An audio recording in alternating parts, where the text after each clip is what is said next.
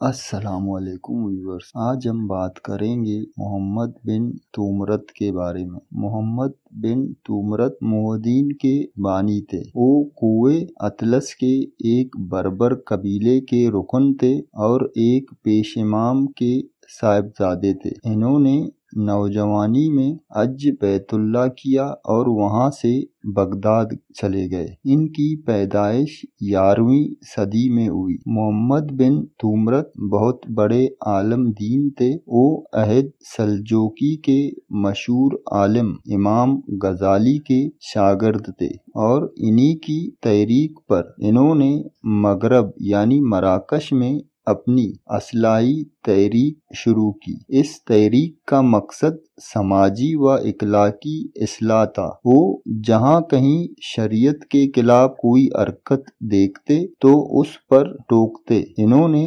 मुसलमानों में फैलने वाली शराब नोशी और बेपर्दगी समेत दीगर बुराइयों के खात्मे के लिए भरपूर जदोजहद शुरू की। इन्होंने सिर्फ़ सख्ती ही नहीं की, बल्कि वाइज व नसीहत के ज़रिए लोगों में इस्लामी रूह पैदा करनी शुरू कर दी। इनकी हर दिल अजीजी और मकबूलियत देखकर मुराबतीन की हुकूमत को कतरा पैदा हुआ और इनको मराकश से जलावतन कर दिया। वो दूसरे शहर अगमात आ गए, लेकिन यहाँ से भी इन्हें जलावतन कर दिया गया। अब वो अपने वतन अरगा चले गए, जो कुए अतलस में वाक़ था। यहाँ के लोगों ने हज़ारों की तादाद में इनकी दावत कबूल की। इन्होंने फौजी तरबियत भी हासिल की और मजहबी तालीम भी। अब मुराबतीन की फौज यहाँ भी आ गई